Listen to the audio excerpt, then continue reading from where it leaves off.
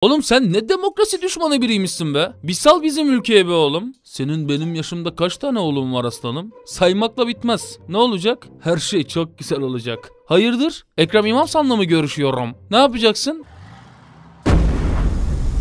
Ya şu savaş bizi bitirdi be. Ne gülüyorsun lan? Gülmüyorum abi. Ne gülüyorsun lan? Gülmüyorum abi. Yavrum sen kaç yaşındasın? 43 yaşındayım ne oldu ki? Bak kardeşim sen güzel bir kardeşe benziyorsun. Benim yaşım 70. Bak mabadıma. Bak bak iyi bak. Donum görünüyor. Donum olmazsa bizzat mabadımın kendi gözükecek. Günlerdir savaştayız diye sesimiz çıkmıyor. Hep bir Amerika arkamda, bir Avrupa arkamda diye muhabbet yapıyorsun. Batı bizi yalnız bırakmayacak şeklinde demeçler gerçekleştiriyorsun. Bize göndermeler yapıyorsun. Ne istiyorsunuz lan benden? Neredeyim oğlum ben? Psikopat mısınız oğlum siz? Psikopat mı görmek istiyorsunuz? Delirttin Ukrayna, görkemli sarayları, büyük kiliseleri, lezzetli yöresel yemekleri ve şükrün en üst basamağı harika cıbırların bulunduğu muazzam bir ülke. Türklerin oraya neden çok gitmek istediklerini şimdi daha iyi anlıyorum. Virüsten sonra yok mu bir Ukrayna tatilimiz? Neyse, niyetimizi belli etmeyelim. Doğu Avrupa'nın en ateşli ülkesine merhaba deyin dostlarım. Burada işler tıkırında. İnsanlar para kazanıyor, mutlu mesut huzur ve barış ortamında varlıklarına devam ediyorlar. İnsanlar sorunlarını konuşarak hallediyor. Ülkeden bal değil siyasi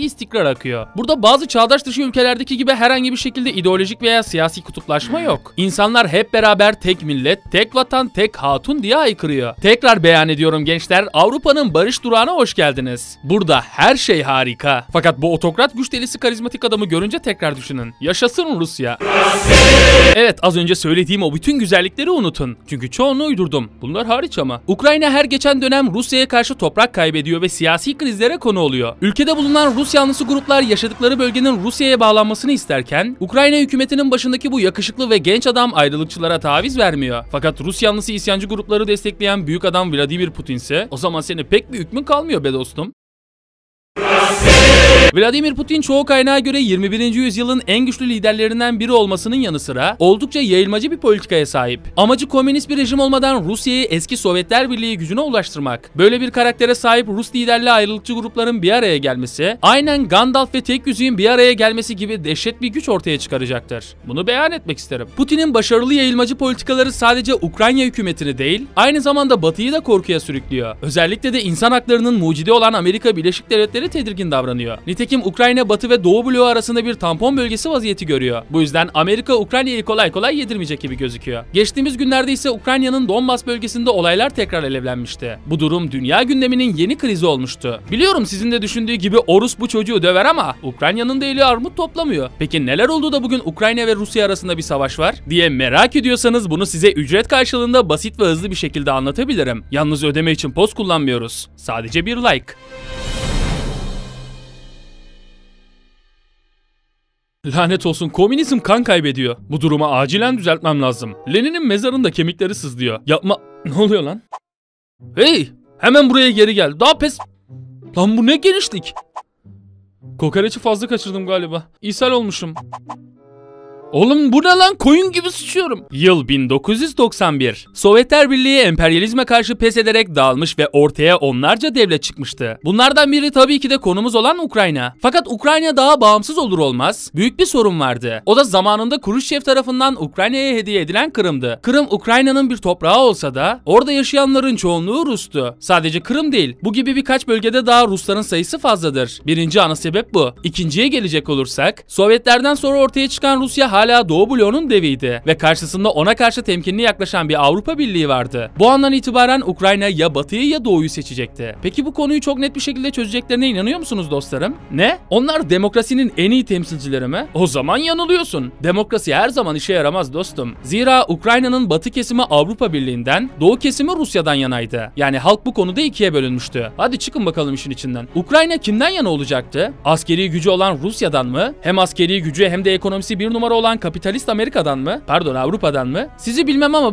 siz o dönemlerde Rusya veya Avrupa Birliği'nde çalışan bir devlet görevlisi olsaydınız bu karmaşık durumu nasıl çözerdiniz? Ne? Direkt askeri tatbikatlar başlar sefere mi çıkardınız? Dostlarım kafanız hala orta çağda. Bunlar ilkel yöntemler. Çağdaş dışı hareketler. Size yakıştıramadım. Demem o ki bu karışık durumu gidermek için taraflar hükümete kendi taraftarı olan bir hükümeti getirecekti. O zaman 2004 seçimleri gelsin dostlarım. Seçimin büyük adaylarını sizlere takdim edeyim. Sol tarafta Avrupa yanlısı Viktor Yushchenko Yushchenko, sağ tarafta Rus yanlısı Viktor Yanukovych. Adaylar burada olduğuna göre demokrasiyi belirlemek için sandığa gidelim mi beyler? Bam! %49 oyuyla kazanan Viktor Yanukovych oldu. Aramıza hoş geldin dostum. Fakat bu durum %46 oy alan Yushchenko'nun hoşuna gitmedi. Yaşasın ben kazandım. Kahrolası pislik. Hile yaptın. Orta Doğu mu lan burası? Lan kes. Seçimler tekrarlansın. Eğer o seçimler tekrarlanırsa ben de şerefsizin tekiyim.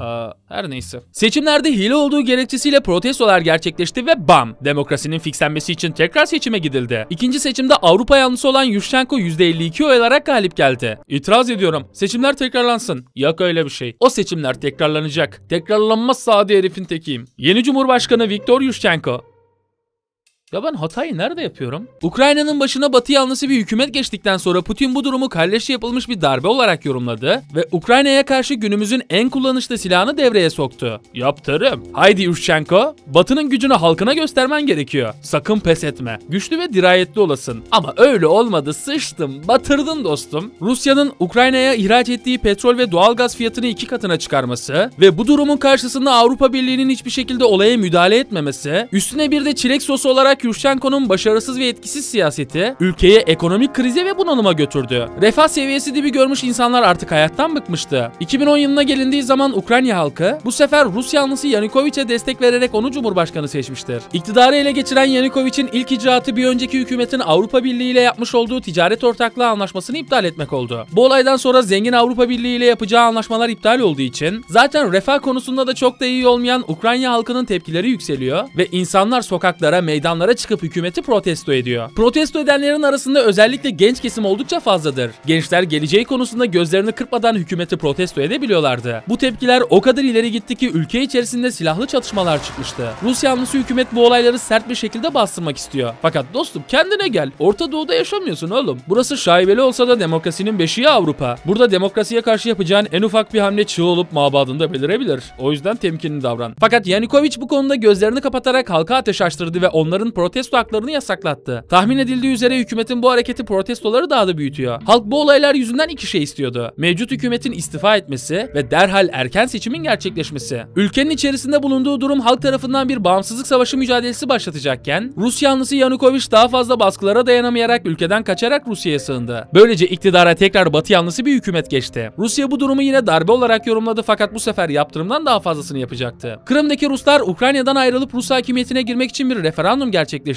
ve %90'ın üzerinde bir oy çıkarak Rusya burayı ilhak etti. Bu Putin'e göre Rusların anayasal haklarını korumak, Batı'ya göre de bir işgaldi. Size göre nedir onu bilemem. Kırım ayrıca ekonomik olarak da büyük bir ayrıcalıktı. Ukrayna neredeyse kolunu kaybetmişti. Görünüşe göre Vladimir Putin 21. yüzyıl dünyasında gücünü kanıtlamıştı. Ama Kırım'ın ilhakı yetmeyecekti. Fazlasında gözü vardı. Tez Avrupa taraftarı hükümetin bir şeyler yapması gerekiyor. Ukrayna hükümeti ülkedeki Rus gücünün yükselmesine karşın Rus milliyetine ait resmiye her şeyi yok etmeye başladı. Bunlardan en önemlisi de Rusça dilinde eğitim ve Rus dilinin resmi dil olma yolundaki yasayı yürürlükten kaldırdı. Bu durum ülkedeki Rusları güvensizliğe etmiş ve Rusya aynen 19. yüzyıldaki panslavizm politikasını uygulayarak Ukrayna'daki Rus halkının koruyucusu olduğunu açıklamıştır. Ki bu Rusya'ya Ukrayna'ya müdahale etmesi için harika bir fırsat vermişti. Çünkü hala Ukrayna sınırlarında bulunan bazı bölgelerde Rus çoğunluğu vardı. Kırım gibi bunlardan bir diğeri de Donbas'tır. Donbas'taki ayrılıkçı Rus grup Rusya tarafından silahlandırılarak bölgede güç elde etmek isterken Ruslara bir kez daha taviz vermeyecek olan Ukrayna hükümeti orduyu işe dahil ederek 2014 yılından günümüze dek devam edecek olan bir savaş başlattı. Ukrayna ve ayrılıkçılar arasında gerçekleşen bu savaşta binlerce insan hayatını kaybetmişti. Ukrayna tam üstünlük sağlayacakken Rusya olaya müdahale ederek dengeleri kısmen eşitliyor. Yani şöyle düşünün. Ukrayna askerleri cepheyi yarıp karşıya geçerken Ruslar olaya müdahale ediyor ve Ukrayna ordusu geri püskürtülüyor. Büyük badirelerden sonra Ukrayna ve ayrılıkçılar arasında ateşkes anlaşması imzalanmıştır. Böylece Donbas iki tarafa da bırakılmayarak özerk bir cumhuriyet haline geldi. Bölgede Lugansk Halk Cumhuriyeti ve Donetsk Halk Cumhuriyeti adında iki tane tanınmayan özerk ülke bulunmakta. Ateşkes anlaşması zaman zaman bozulsa da olaylar bir nevi duruluyordu. Fakat 2021 yılında bölgede tekrar bir askeri hareketlenme mevcut. E tabii ki bütün bu gerilimlerin fitilini yakan zatı muhterem Vladimir Putin'in ta kendisi. Rus ordusu sınıra on binlerce asker konuşlandırarak dünya tansiyonunu bir kere daha yoklamıştır. Putin bu özerk devletleri kendine bağlamayı oldukça kafaya takmış olsa da Ukrayna'nın genç cumhurbaşkanı olan Zelenski arkasında Avrupa Birliği ve Amerika'nın olduğunu, eğer Rusya delice bir hareket yaparsa duruma müdahale edeceklerini vurgulayarak Rusya'ya gözdağı vermek istemiştir. E ama karşısında kendisi gibi dünkü bir çocuk yok. Vladimir Putin var. Amerika'nın olaylara yaklaşımını sizlere anlayacağınız basit bir dilden anlatayım. Adamım yeter be. Ya doymayacak mısın sen? Kes ulan tatavayı. Yiyorsa orduyu getir de sınıra bir gövde gösterisi yapalım. Beyler ne oluyor ya? Ho Biden'cım. Ya sen emekli olmadın mı? Bir ayak çukurda zaten. Otokrat bir kafadan fikir alacak değilim. Buraya gerilimi arttırmamanız konusunda sizi uyarmaya geldim. Ne gerilimi ya? Kardeşimle muhabbet ediyorduk. Ne muhabbeti? Tutturmuş savaş uzatma da işte. Muhabbet ediyoruz. Sen rahat ol ihtiyar. Biz halledeceğiz bu durumu. Ya Putinciğim bu işleri medenice halledin kardeşim. Konuşa konuşa demokrat bir şekilde. Tamam sen merak etme ben oldukça kibar olacağım arkadaşlar. Rahat ol. Teşekkür ederim. İyi toplantılar. Senin ben validenin leşini... İşte durumlar böyle. Görüşe göre Putin yayılmacı politikasından vazgeçmeyecek. Aslında yayılmacı politika demek bayağı bir yanlış olur. Neden mi? Sizlere Yusuf Kayal bakış açısıyla Rusya'nın bu saldırgan tavırlarını mantıklı bir şekilde açıklayayım mı? Hay hay. Konu Rusya-Ukrayna savaşı değil. Etrafı NATO devletleri tarafından çevrelenen bir Rusya var ve kendisini tehdit altında hissediyor. Aslında yaşanan bu olaylar Soğuk Savaş'ın hiçbir zaman bitmediğinin bir göstergesi. Ukrayna gibi ülkeler iki tarafın ortasında kalıyor ve kendisine bir çıkış yolu bulmak için iki taraftan birinin gölgesine sığınmak zorunda kalıyor. Çok kutuplu dünyada artık savaşlar vesaire şeklinde yapılıyor. Bölgenin büyük oyuncularından olan Rusya'nın tek derdi ABD ve destekçilerine karşı diş bilemek. Ülkeler böyledir. İnsanlar gibi kişilik ve karakterleri olmaz. Denge politikası izlemek zorundadırlar. Bakın Türkiye'ye ABD tarafından kendisine zarar verildiğini gördüğü an Rusya ile S-400 anlaşmasını yaptı. Neden mi? Nedeni çok basit. Siz müttefikim dediğiniz ülkenin size zarar verdiğini görmeye başladığınız an düşmanımın düşmanı benim de dostum dersiniz. Bu bir güç savaşı. İki taraf da karşılıklı olarak çıkarlarını korumak için strateji izliyor. Rusya'nın derdi Asya ve Avrupa'da etkin konumunu devam ettirebilmek. ABD'nin derdi ise Avrupa Birliği'ni destekleyerek Rusya'ya karşı bir tampon kullanmak. Bunu da NATO sayesinde yapıyor. Bu güç savaşının ortasında kalan Ukrayna gibi devletlerden biri de Türkiye. ABD ekonomik olarak dünyanın en güçlü ülkesi ve size uygulayabileceği çok fazla koz bulunduruyor elinde. Ekonomik olarak zaten bir savaşın içindeyiz. Rusya ise yanı başımızda. Ekonomik gücü olmasa da askeri gücü yüksek bir devlet. Ve inanın o da en az Amerika Birleşik Devletleri gibi çakal. Çıkarın uyuşmadığı yerde size hemen satabilecek bir yapıya sahip. Gerçi her ülkede öyle. Aslına bakarsanız Türkiye ile Rusya sıkı bir müttefik gibi bir izlenim verse de sahada pek çok yerde farklı güçleri destekliyor. Türkiye Ukrayna hükümetini desteklerken Rusya Donbaslı milisleri destekliyor. Libya'da da aynı şey karşımızda ve tabii ki Suriye'de. Evet Azerbaycan'da da. Sonuç olarak umarım barış kazanır da bütün insanlık bunu... tamam tamam. Kahpe bir dünyadan çok fazla şey istiyoruz. Tarihteki ünlü liderleri konu aldığımız serimizin ikinci kitabı Cengiz Han ve Kurtlarını şimdi bütün dijital kitap platformlarında bulabileceksiniz. Metehan birinci yılını devirdiğinde çok güzel geri dönüşler aldık. Eğer Cengiz Han'ın da hayatını akıcı bir dille okumak isterseniz size aşağıda verdiğim linklere davet ediyorum.